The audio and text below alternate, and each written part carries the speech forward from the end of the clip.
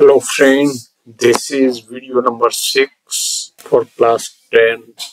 English Unit 7 Extract Reading Comprehension 7 Question number 7 uh, Friends, here you will learn how to write the short note and what is the purpose of it. Friends, now you understand. In short note, you have to recall the end language. Short note લખવા જે કંઈ read વાંચ્યું છે તેના પાત્રો વિશે તેના પ્રસંગો વિશે શોર્ટ નોટ સામાન્ય રીતે હોય તમે એક વખત વાંચી ગયા છો સમજી લીધું છે હવે તો હા હા હા હા તો પછી એમાં સુધારો કરીને ફરીથી મોકલું કે તો આ રીતે એક તો એ નંબર છે નંબર સુધારી દઉં બરાબર આ પાંત્રી આમાં તો બરાબર છે ને હેલો ફ્રેન્ડ્સ તો અહીંયા તમારે એબિલિટી કેળવવાની છે અને તે કે જે તમે શીખ્યા જે માહિતી તમારા માઇન્ડમાં જે એ ટોપિક રિલેટેડ વર્ડ છે એને રિકોલ એટલે કે યાદ કરો યાદ કરી અને એના આધારે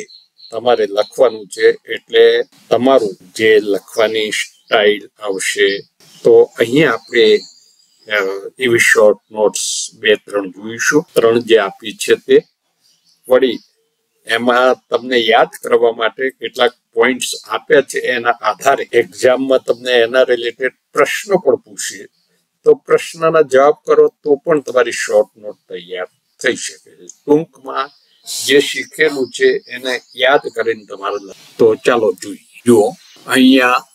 write short note Asuras attempt to kill Kach આ એક ટાઇટલ એના એટેમ્પ્ટ એટલે કઈ રીતે એને મારવા પ્રયત્ન કર્યો એ વિશે લખવાનું છે points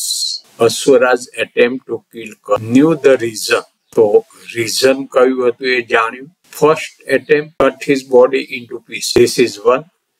second time ground his body through into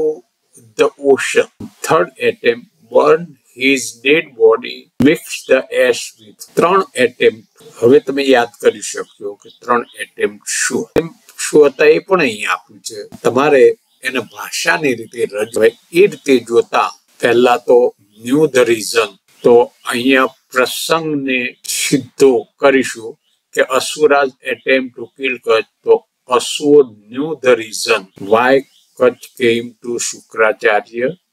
learn the મંત્રાસ to receive the day why Asur knew the reason why Kach came to Shukracharya to learn,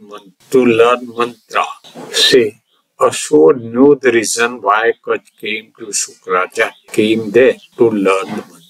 Mantra ભણવા આવ્યો itla pehla mudda na આધારે So they they wanted to kill him. They first killed him when he was grazing the cows in the jungle. Then Shukracharya using his vidya brought him to life એટલે એને જીવંત કરતો first attempt એટેમ્પ્ટની વાત થઈ હવે second attempt the second time when he was collecting flowers in the jungle the asuras killed second time ફૂલ ચૂંટતી વખતે માર્યો એ બાબત છે દ્વેલા that time also with the request of Devyani Shukracharya again brought him third time When he was collecting firewoods, he was killed. They also burnt his body to ashes. The ashes was mixed up with and Shukracharya drank. They hoped that Shukracharya could not survive him at the third. So આ રીતે અસુરના attempt જે છે ત્રણ એ એટેમ્પ્ટની વાત So કરી the point the correct ભાષામાં લખવું યાદ કરીને લખવું દેટ ઇઝ ધ પ્રેક્ટિસ એ જ રીતે અહીંયા દિવ્યાનીનું છે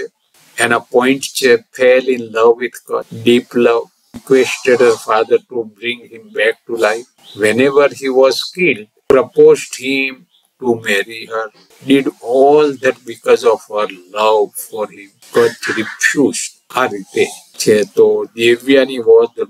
ડોટર ઓફ શુક્રાચાર્ય